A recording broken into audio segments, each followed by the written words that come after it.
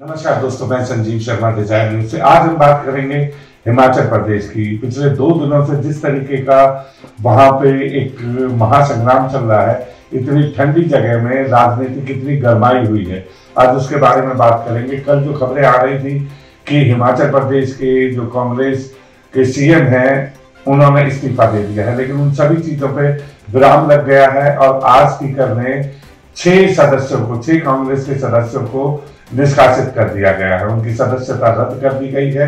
क्योंकि कल फाइनेंस का जैसे ही बिल था, वो लोग विप जारी करने के बाद भी नहीं पहुँचे। और उन छह लोगों को एक तरीके से निष्कासित कर दिया गया है। और अब सुक्खू सरकार, यानी सुखविंदर सिंह की जो सरकार है, वो बिल्कुल सेफ़ है और उन्हें किसी किस्म का कोई खतरा अभी नज़र नहीं आ रहा। जिस तरीके से छह विधायकों ने राज्यसभा के एक मेंबर जो बीजेपी से खड़े हुए थे, उनके पक्ष में वोट दिया था। उसके बाद कहीं ना कहीं सरकार के अंदर हलचल मची हुई थी और उन लोगों को किस तरीके से वहाँ से हेलीकॉप्टर के ज़रिए हरियाणा में स्टे कराया गया था, उन सारी चीज़ों की अगर हम देखते हैं तो कहीं ना कहीं ये राजनीति के अंदर अब बहुत ज़रूरी हो गया है कि जो भी चीफ मिनिस्टर हो, वो अपनी सरकार की शाम को काउंटिंग ज़रूर करे कि कितने विधायक उसके साथ हैं और कितने नहीं है। आने वाले समय में ऐसा भी हो सकता है कि सभी विधायकों को एक ही जगह रखा जाए ताकि शाम को उनकी काउंटिंग हो सके। आज जिस तरीके से जो सर्वेयर गए हुए थे वहाँ पे, जो पर्यवेक्षक गए हुए थे कांग्रेस के, उसमें भूपेंद्र सिंह मुंडा डी के शिव कुमार और भूपेश बघेल, तीनों ने हर विधायक से बात करी और उनकी समस्याओं को जाना है और अब उन्होंने एक कमेटी भी बनाई है। उस कमेटी के अंदर चीफ मिनिस्टर होंगे, डिप्टी चीफ मिनिस्टर होंगे और प्रदेश अध्यक्ष होंगे और तीन मेंबर और दिल्ली से भेजे जाएँगे।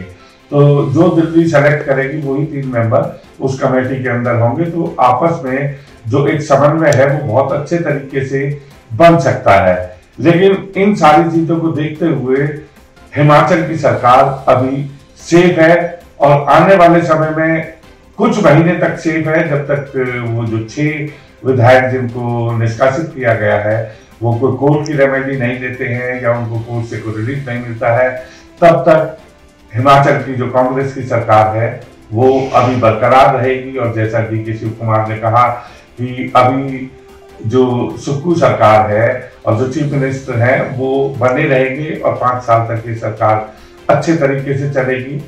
ये एक नया मूड आया है जो पिछले दो दिनों के अंदर जिस तरीके की वहाँ पे हलचल थी, उस हलचल पे कहीं ना कहीं अब विराम लगा है। लोकसभा चुनाव आने वाले हैं और प्रदेश अध्यक्ष ने भी कहा है कि वो तैयारी में लगे हुए हैं कि यहाँ से सभी लोकसभा सीटों को जिताकर कांग्रेस के पक्ष में वो भेजेंगे। मैंने कोई इस्तीफा नहीं दिया। मैं एक योद्धा हूँ।